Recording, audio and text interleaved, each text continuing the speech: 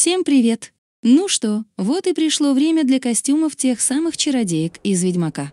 Костюмы воссозданы на основе скриншотов, что нашла на просторах интернета. Результат, конечно, не стопроцентный, но считаю, что костюмы Цири и Трис Меригольд вполне удались, в отличие от Йонифер. Полный список одежды и аксессуаров будет в описании под роликом.